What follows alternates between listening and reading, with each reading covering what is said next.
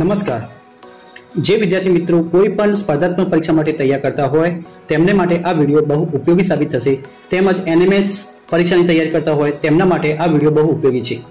આ વિડીયોમાં માત્ર બધા ધોરણના પ્રકરણ પ્રમાણે એમસીક્યુ અહીંયા મૂકવામાં આવશે. તો અત્યારથી મારી ચેનલને સબસ્ક્રાઈબ કરે મારી ચેનલનું નામ છે ટી આર સુનિલકુમાર રાજપૂત. તમને જણાવી દઉં વિદ્યાર્થી મિત્રો, જે અત્યારે ટેટની તૈયારી કરતા હોય કે એનએમએસની તૈયારી કરતા હોય કોઈ પણ સ્પર્ધાત્મક પરીક્ષાની તૈયારી કરતા હોય, તો આ વીડિયો તમારા માટે અચૂક જોજો. અને અહીંયા તમને આ ચેનલની અંદર માત્ર એમસીક્યુ વિજ્ઞાનના જ વીડિયો મૂકવામાં આવશે, જે ધોરણ પ્રમાણે હશે.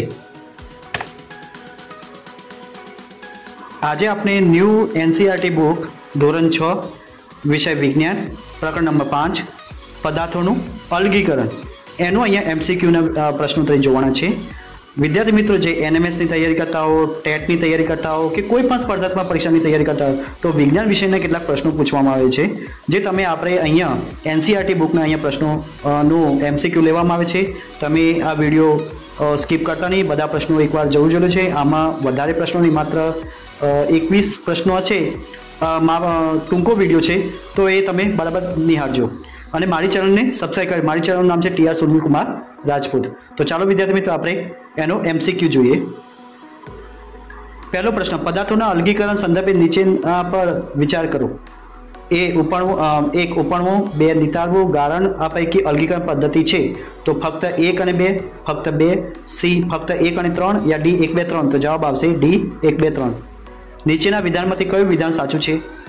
અનાજમાંથી કાંકડા બીનીને દૂર કરાય છે. પોતરાને ભારે દાણામાંથી અલગ કરવામાં માટે ઉપાડવામાં આવે છે.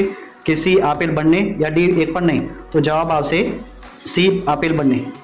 ત્રણ, સંતૃપ્ત દ્રાવણ એ એવું દ્રાવણ છે કે જેમાં તે પદાર્થને વધુ ઓગાળી શકાય છે. જેમાં તે પદાર્થને વધુ ઓગાળી શકાતા નથી. યા સી આપેલ બંને યા ડી એક પણ નહીં?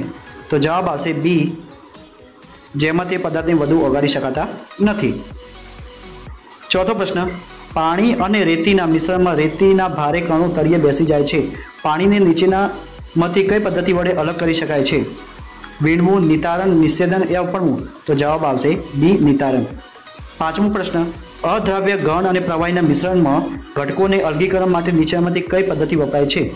ઉપણવું નિતારણ, નિષેધન યા વીણવું? તો જવાબ આવશે નિતારણ. છઠ્ઠું, પ્રવાહીમાં દ્રાવ્ય થયેલ ઘન પદાર્થને અલગ કરી નીચેનામાંથી કઈ પદ્ધતિ વપરાય છે? બાષ્પીભવન, નિશ્ચેદન, નિતારણ યા ગારણ તો જવાબ આવશે એ બાષ્પીભવન. સાતમું, મિશ્રણમાં ઘન પદાર્થોના કદમાં વિવિધતા હોય ત્યારે તેમને અલગ કરવા નીચે કઈ પદ્ધતિ વપરાય છે? ચારણ, ચાળવું, ગાળવું, આપેલ બંને કંઈક પણ નહીં, તો ઓપ્શન આવશે એ ચાળવું. ચોખાના દાણાને ડુંડાથી અલગ કરવા નીચેનાથી કઈ પદ્ધતિ વપરાય છે?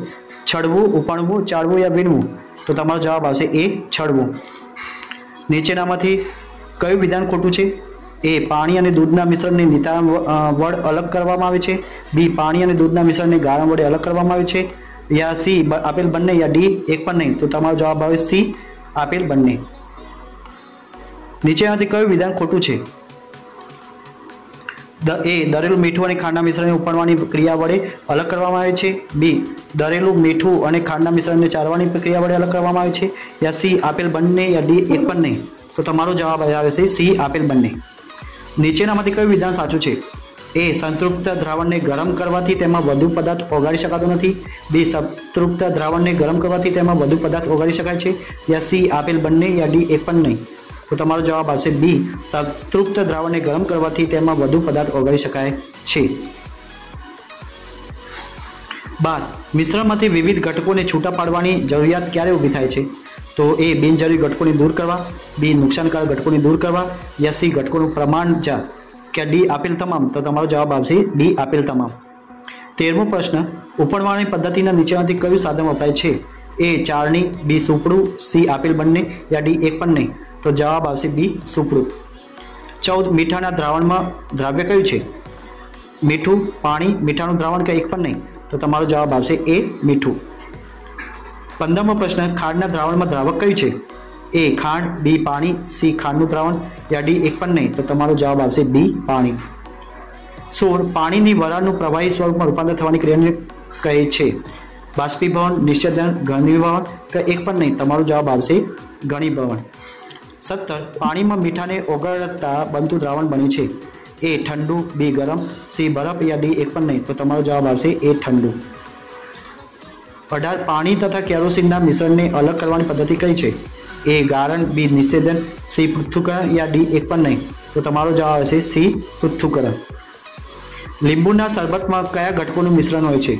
એ ખાંડ, બી મીઠું, સી લીંબુનો રસ યા ડી આપેલ તમામ. તો તમારો જવાબ આવશે આપેલ તમામ ડી. કપડાં સુકવવાની ક્રિયામાં પદ્ધતિનો ઉપયોગ થાય છે. એ નિતારણ, બી બાષ્પીભવન, સી ગારણ ડી આપેલ તમામ. તો તમારો જે જવાબ આવશે બી બાષ્પીભવન. એકવીસમો પ્રશ્ન, ઘઉંના લોટમાંથી ખાંડ કેવી રીતે અલગ કરી શકાય છે? ઉપડવું નિતાળવું ચાળવું યા ઠારણ? તો તમારો જવાબ આવશે સી, ચાળવું.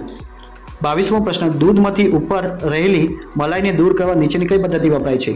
એ ગારણ બી બાષ્પીભવન, સી આપેલ બંને યા ડી એક પણ નહીં? તો તમારો જવાબ આવશે એ ગારણ અને ત્રેવીસમો પ્રશ્ન, પાણીને બાષ્પમાં રૂપાંતર કરવાની ક્રિયાને શું કહે છે?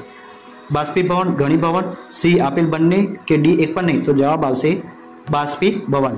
ઘરમાં વપરાતા પનીરની બનાવટમાં નીચેનામાંથી કઈ ક્રિયા ઉપયોગી છે? ગારણ, નિતારણ, નિષેધન, બાષ્પીભવન. તો બી, નિતારણ. પચીસ. જ્યારે મિશ્રણમાં રહેલો વજનમાં ભારે ઘટક તેમાં પાણી ઉમેર્યા બાદ નીચે બેસી જાય છે, તે પદ્ધતિને શું કહે છે? ગારણ, નિક્ષેપણ ઉપાણવું યા વીણવું? તો જવાબ આવશે નિક્ષેપણ. રેતીમાંથી લાકડાના વહેણને અલગ કરવા નીચેનાથી કઈ પદ્ધતિ ઉપયોગી છે? ઉપણવું ગાળવું, વીણવું યા ચાળવું? તો તમારો જવાબ આવશે ચાળવું. તો વિદ્યાર્થી મિત્રો, આ વીડિયો અહીંયા આપણે પૂર્ણ થાય છે. જો તમને આ વીડિયો સારો લાગ્યો તો લાઇક એન્ડ સબસ્ક્રાઈબ કરવાનું ભૂલતા નહીં. અને બીજા વિદ્યાર્થી મિત્રો, આ વીડિયો અચૂક શેર કરજો. તેમજ અમારા પ્લેલિસ્ટની અંદર તમે પ્રકરણ વાઇઝ વીડિયો અચૂક જોજો. જેથી તમારા પરીક્ષા માટે ખૂબ ઉપયોગી બને. આવજો વિદ્યાર્થી મિત્રો બેસ્ટ ઓફ લક